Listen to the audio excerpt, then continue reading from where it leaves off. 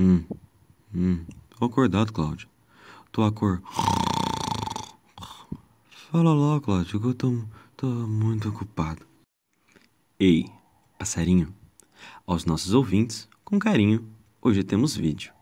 Prometemos e aqui estamos. Desta vez, retornamos para falar mais uma vez e um pouquinho mais a fundo sobre o processo biológico em que consiste o nosso sono. É importante relembrarmos que o sono consiste basicamente de cinco partes: estágios 1, 2, 3, 4 e o sono REM.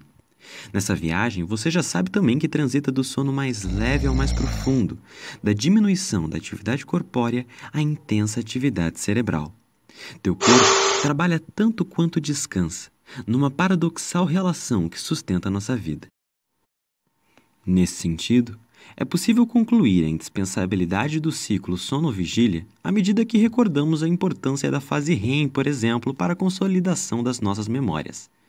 Ora, imagine-se sem ela, sem a capacidade de recordar quem é, como é e como o mundo existe à sua volta, então entenderá como dormir é pré-requisito para a existência humana.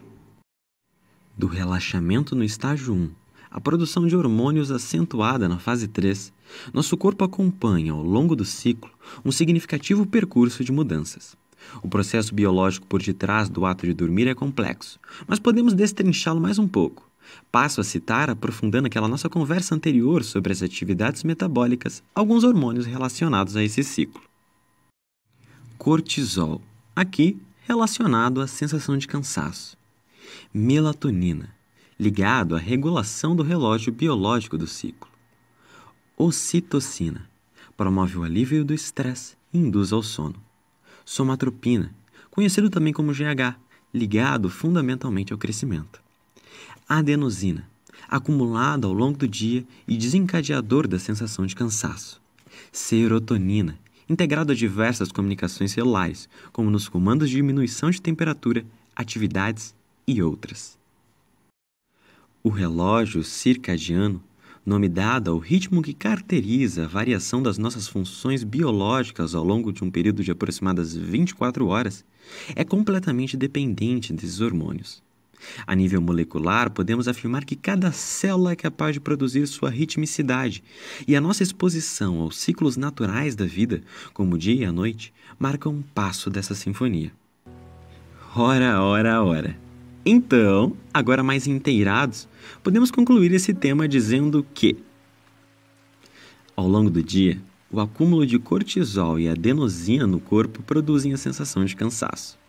Ao deitar na cama, começa a viagem. Na fase do sono não REM, o estágio 1 é embalado pela liberação de melatonina conforme o ambiente escurece, e a indução ao sono também ocorre em detrimento do relaxamento que se vincula à ocitocina. Passados os 15 ou 20 minutos iniciais, o estágio 2 é marcado pela diminuição do ritmo respiratório e da temperatura corporal, fruto também do trabalho da serotonina. É já no estágio 3 que muitos outros hormônios começam a circular pelo corpo, como o supracitato GH, atuante no processo de crescimento. Ao fim, o estágio 4 se veicula a transição para o sono REM, em que sonhos, consolidação de memórias e intensa atividade cerebral caracterizam um período. O ciclo, que tem duração média de 90 minutos, se repete até o despertar do indivíduo, concluindo o processo biológico da respectiva noite, para então se repetir em todas as noites seguintes. Viu só como esse processo é curioso e complexo? Mas sobre sua compreensão e visão geral, é só. Daqui até as próximas mídias, você, meu caro passarinho, acompanhará outros conceitos e processos biológicos. Tudo para que o seu estudo da vida seja mais interessante. Abraços e até a próxima.